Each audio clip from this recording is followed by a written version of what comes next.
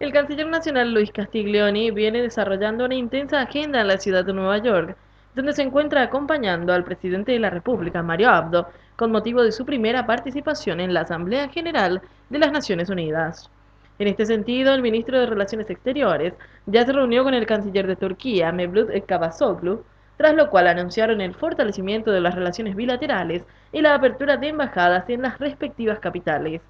Además, recibió a su par del Principado de Andorra, María Ubach Font, a fin de repasar la agenda bilateral y los desafíos que tendrá este país al asumir la presidencia pro tempore de la Conferencia Iberoamericana.